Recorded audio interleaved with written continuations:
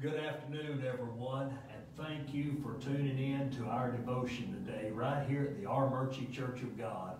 We're so thankful for this beautiful, beautiful week that God has blessed us with, and mercy for all the beautiful sunshine, because after all the rain, we're enjoying this beautiful day.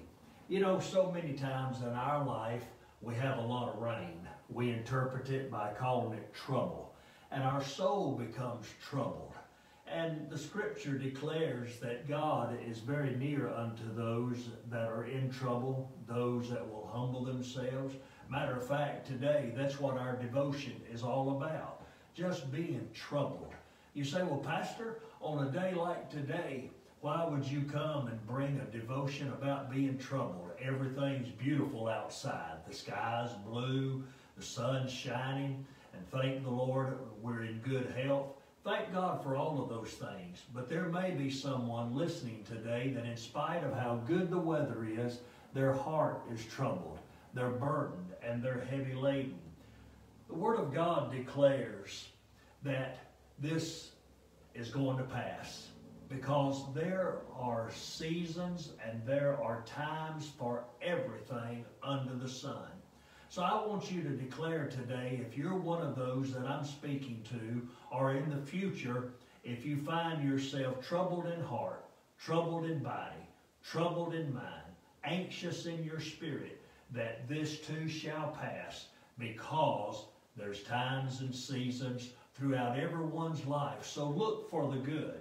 But if you find yourself feeling alone and feeling shunned, feeling that no one wants to listen, I want to bring to you Psalms 20 and 1. For our devotion, and it says, May the Lord answer you in the day of trouble. Thank God today we learn from this brief passage a very important thing. And it's this, and I want to share this, that it's God who is answering us in time of trouble. There are times when we have been troubled that someone might feel as though they I need to shun that person or I need to sort of step side that person that's in trouble. I need to go around that person because I don't have the ability to help that person or I don't have the resources to help that person. That's why today I felt impressed by the Spirit of God to bring us some enlightenment through the power of the Holy Spirit of Psalm 20 and 1 because we're not talking about an individual. We're talking about God coming to us that find themselves in trouble. God coming to the one who has a troubled heart. God coming to the one who has a troubled soul.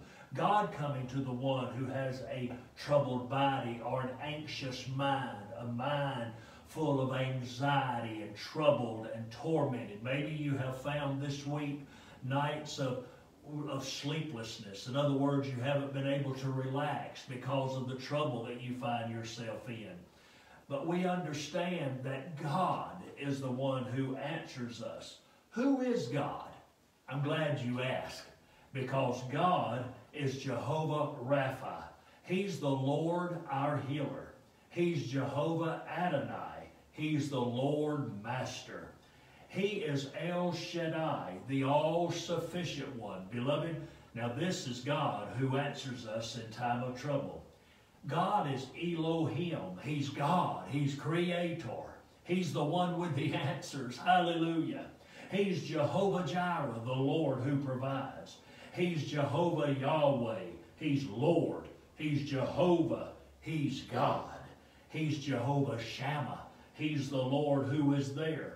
We must know and understand today, beloved, that it's God who cares in all of His splendor. He's the one who heals. He's the master. He's the sufficient one. He's creator. He's the one who supplies. And He is God. Oh, hallelujah. The one who is right there with you. I said a moment ago that there are those that may shun you if you're in trouble. There are those who may step the other way to keep from being in your presence if you're in trouble. But that's not true about our God because our God is the one who never leaves us. He never forsakes us. He never abandons us. Matter of fact, He invites us to come to Him when we're in trouble. The epistles of Peter puts it this way. In one of Peter's writings, he said, Cast all your cares upon Him because He cares for you. So I encourage you today in the name of the Lord, don't try to carry the load by yourself. Don't try to fix it all alone. Don't be ashamed to call upon God, for he is standing ready, willing, and able to come to your aid, to come to my aid, to assist us and to help us. Remember what Psalmist David said in Psalm 20 and 1? May the Lord answer you in the day of trouble. Matter of fact, if I might, I would like to share two very personal verses of Scripture that I have found throughout my 41 years of ministry a great help. And they're found in Isaiah 50, verses 7 and 9. For the Lord will help me. Oh, hallelujah. You see, he says, For the Lord will help me. Therefore, I will not be disgraced, and neither will I be ashamed. Again, he says in verse 9 of Isaiah 50, Surely the Lord will help me. Say that out loud right there where you're at.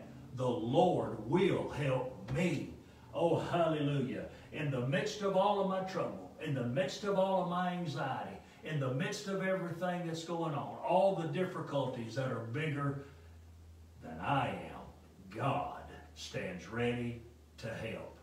All we've got to do today is to cast all of our cares upon Him, for the Word of God says He cares for you. Let's pray.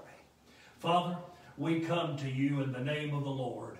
I'm so thankful today for everyone that has joined us for our devotion and the others, dear Lord, that will be joining us maybe on their way home from work. I pray today that you would touch my brother and sister. I pray today that you would touch that one that's having a difficult time.